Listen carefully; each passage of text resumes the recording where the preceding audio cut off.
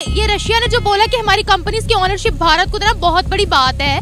क्या कहते हैं आप कि ये भारत के लिए बड़ा गोल्डन चांस भी है? मोदी ने मुल्क को इतनी तरक्की दी है इंडस्ट्री को इतनी तरक्की दी है कि हमारी तरक्की ज़ीरो हो रही है। उनके आगे? उनके आगे। हम मुसलमान ज़रूर हैं। हम आम में मुसलमानों वाले काम नहीं है। वो गैर मुस्लिम में ईमानदारी से काम करते हैं। ईमानदार हैं मेहनत से लगन से काम करते हैं। कौन भारतीय। पाकिस्तानी जो है ये मेहनत से काम नहीं करते। अच्छा। इनका यकीन नहीं है मेहनत पे। कहते हैं बस रातों रात जैसे हुकूमत अमीर बन गई ऐसे बन जाए। ये चीज़ है। ये तो हमारी अपनी सोच है कि हम लोग गलत कामों की तरफ़ ज़्यादा अट्रैक्ट होते हैं लेकिन अभी ये रशिया ने जो बोला कि हमारी कंपनीज़ की ऑनरशिप भारत को देना बहुत बड़ी बात है। क्या कहते हैं आप कि ये भारत के लिए बड़ा गोल्डन चांस भी है कि रशिया की जो टेक्नोलॉजी है जो फॉरेन एक्सचेंज है वो भारत आ सकते हैं? इसके बारे में क्या कहेंगे आप? हमारी बदनसीबी है हमारी खारजा पॉलिसी जो ना गलत है। जो भी हुक्मरान आता है अपने पेट भरता है। भर के चला जाता है। भारत के बारे में क्या कहते हैं? भारत की खाद्य पॉलिसी अच्छी है उसकी हुकूमत अच्छी है वो मुल्क के लिए काम करते हैं। मोदी की हुकूमत अच्छी है? और मोदी की बहुत अच्छी है थोड़ी सी नहीं बहुत अच्छी है। क्यों? मोदी ने मुल्क को कहीं से कहाँ ले गया वो? कहाँ से कहाँ? कहाँ से कहाँ ले गया? कहाँ से कहाँ? देखें जी मोदी ने मुल्क को इतनी तरक्की दी है इंडस्ट्री को इतनी तरक्की दी है कि हमारी तरक्की ज़ीरो हो रही है। उनके आगे? उनके आगे। ओवरऑल ही हमारी ज़ीरो हो रही है? ज़ीरो हो रही है ओवर नहीं हो रही ज़ीरो ओवर हो रही तो हम तो बड़े तरक्की कर जाएँ। हमारे यहाँ पे रिश्वत का बाज़ार गर्म है लूट सूट का बाज़ार गर्म है और कुछ काम नहीं हो रहा यहाँ। यहाँ पे कोई काम के लिए चले जाओ किसी ऑफ़िस में चले जाओ बकाया रिश्वत के कोई काम हो ही नहीं रहा। ठीक है? कहीं भी चले जाओ लाइसेंस बनाने के लिए चले जाओ वो भी आपको फेल कर देंगे। पैसे दे दोगे लाइसेंस बन जाएगा वरना लाइसेंस बनेगा आपका। यही चक्कर है। क्या भारत में ऐसी करप्शन नहीं है? भारत में करप्शन नहीं है। अगर करप्शन होती तो वो नाकाम हो गया होता। वो ईमानदारी चलते। हम मुसलमान ज़रूर हैं। हम आम में मुसलमानों वाले काम नहीं है।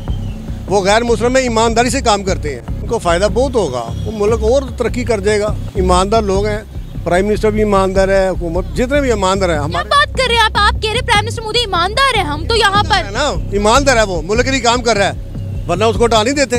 ये चीज़ है। इतना सच आपने कैसे बोली? आपकी रिसर्च अच्छी। नज़र आ रहा है हमको बच्चे तो नहीं है। पैंसठ साल मेरी उम्र है हमें सब कुछ नज़र आ रहा है। देख रहे हैं हम। मगर मजबूर हैं क्या कर सकते हैं हम? उनकी इकोनॉमी हमारी आपको क्या लगता है कि भारत वाकई रशिया की इकोनॉमी को मज़बूत कर सकता है? करेगा ज़रूर करेगा वो।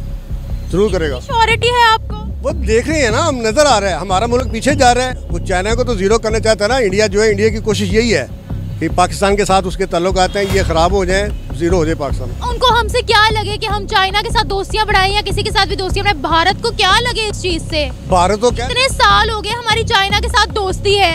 मगर हमने तरक्की क्या की है? हमारी तमाम इंडस्ट्री चाइना ले गया है। ये दोस्ती नहीं है हमारी इंडस्ट्री जितनी भी ना ख़त्म हो गई है ये जूतियों का काम ले ले टेलर का काम ले ले कोई काम ले ले सब चाइना ले गए। हमें तो नुकसान हो रहा है हम तरक्की नहीं कर रहे। हमारी कौन सी इंडस्ट्री यहाँ पर अपनी थी जो चाइना ले गया? वो नहीं ले गया। हमें बेकार कर दिया गया हमारी इंडस्ट्री बंद कर दी गई है। हमारे पास कौन सी अपनी इंडस्ट्री थी? एक स्टील मिल एक स्टील मिल थी हमारे पास टेक्सटाइल की थी और कौन सी इंडस्ट्री थी यहाँ पर जो चाइना ने खराब की है? स्टील मिल तो शुरू से ही जब से बनी है ना वो घाटे में जा रही है। जैसे पीए घाटे में जा रहा है रेलवे का कह रहे हैं रेलवे घाटे में जा रहा है। इतनी अर्निंग होती है समझ से बाहर है। चाइना ने कैसे बर्बाद किया हमारी इंडस्ट्री लेकर गया? मैंने देखी ये जूती का काम है जूती यहाँ पे आ, आप ये सामने बिग शू से ले ले ये आपको दस हज़ार रुपये की जूती दे देगा। चाइना की जूती लेंगे आपको पाँच सौ दो हज़ार रुपये जूती अच्छी मिल जाएगी। तो ज़ाहिर है हमारी अपनी गलती है कि हम लेते हैं उनसे वो थोड़ी कहते हैं कि ले ले भाई हमसे ले। वो तो नहीं कहते हम लेते हैं मगर हमें मार्जिन ज़्यादा मिलता है हमारे जो ताजर है ना वो भी ईमानदार हैं वो बस ऐसे ही चलता है खुद हम उनके पीछे लगे हुए हैं ना? उनके पीछे लगे हमारी मजबूरी हो गई है। तो भारत कैसे चाहेगा कि हम उनके साथ ताल्लुकात जो है खराब करें? उनको क्या फ़ायदा होगा जब हमारे ताल्लुकात जो है वो चाइना के साथ खराब होंगे? चाइना के साथ हमारे ताल्लुकात ख़राब अल्लाह ना ही करे नहीं होने चाहिए। वो वो तो बड़ा कुछ हमारे लिए करता है मगर हम भी कुछ हमें लेते हैं ना हम अफोर्ड नहीं कर सकते ना हम फिर उनके बगैर ये कहें। मजबूर हैं हमें हमें पैसे चाहिए। हमारा सिस्टम नहीं चल सकता। तो भारत को क्या मिलेगा? हमारी दोस्ती खराब वो तो हमारा अमीर आदमी वो तो हमें बेकार करेगा। और क्या करेगा वो? क्या क्या बेकार करेगा? कैसे बेकार करेगा? हमें उनको क्या लगे हमारी चाइना की दोस्ती से? वो तो खुद चाइना को बीट कर रहे हैं। वो चाइना को बीट करती हैं ज़रूर करते हैं। मगर ये है कि मुल्क हमारा पीछे लेके जाएगा। वो चाइना के साथ उसके ज़्यादा तल्लुकात हो जाएँगे उसकी एक्सपोर्ट ज़्यादा होगी। चाइना के साथ नहीं ताल्लुकात बढ़ाना चाहते हैं। वो रशिया के साथ बढ़ा रहा है ना रशिया के साथ उसके पहले भी तल्लुकात थे। देखिए यहाँ पे जमहूरियत आती नहीं है जमहूरियत आ भी जाती है। दो चार दो तीन साल रहती है ख़त्म हो जाती है। शुरू से लेकर अभी तक चाइना के साथ हम कहते हैं शहद से मीठी हिमालय से ऊँची हमारी दोस्ती है ठीक है?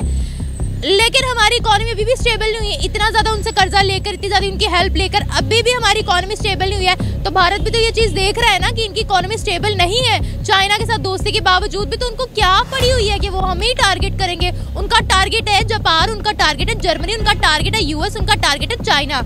हम नहीं आते उनकी लिस्ट में। Thank you for being here बहुत बहुत धन्यवाद।